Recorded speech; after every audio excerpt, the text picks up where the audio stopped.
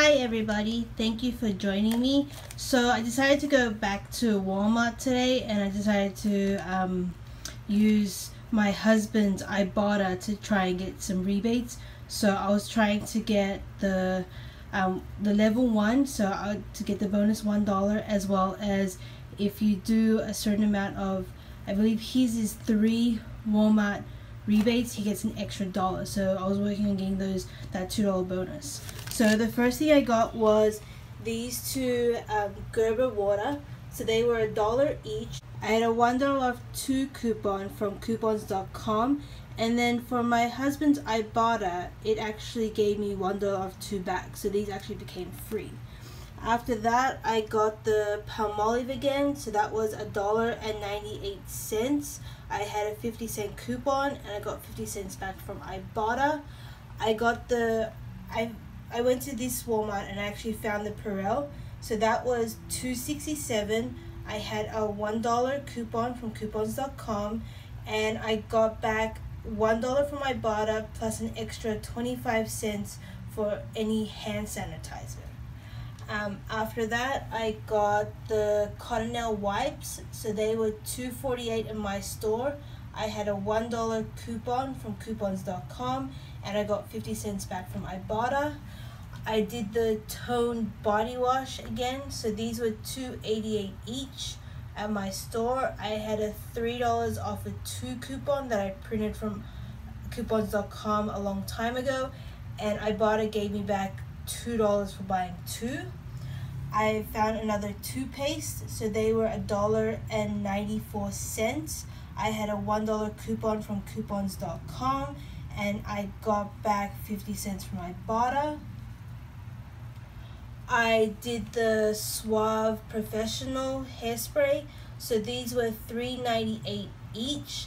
I had the buy one get one free coupon from um, last week's inserts so that took 3.98 off so that was 3.98 for two and then I had a one dollar Ibotta rebate time um, that you could do twice. So they they ended up becoming a dollar 98 for two of them.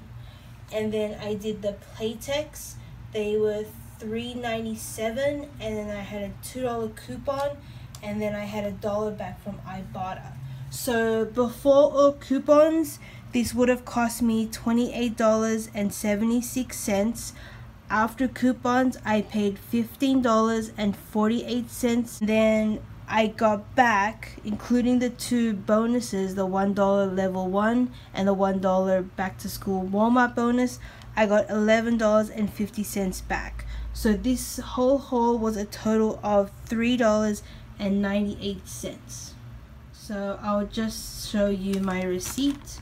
So you can see there, there's the Gerbers for a dollar each, um, and the one dollar coupon, the Palmolive for one ninety eight with the 50 cents, the Purell, the um, wipes, the two tones with the three dollar coupon. Um, this is the Playtex for 3.97.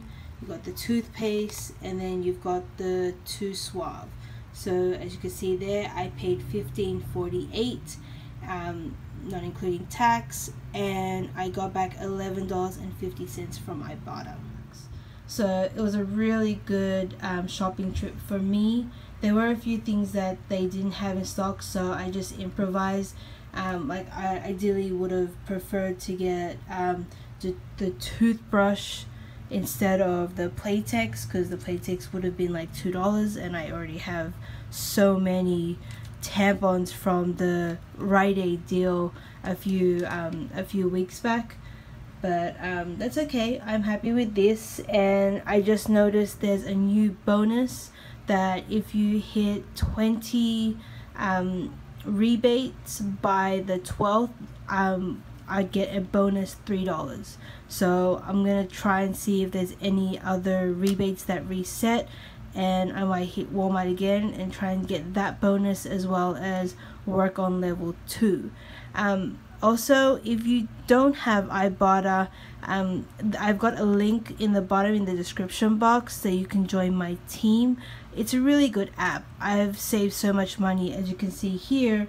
I've purchased all these products for only four dollars after the rebates and coupons but um, yeah so if you don't have Ibotta just um, click on the link below join my team and start saving on everyday products. Um, yeah thank you for joining me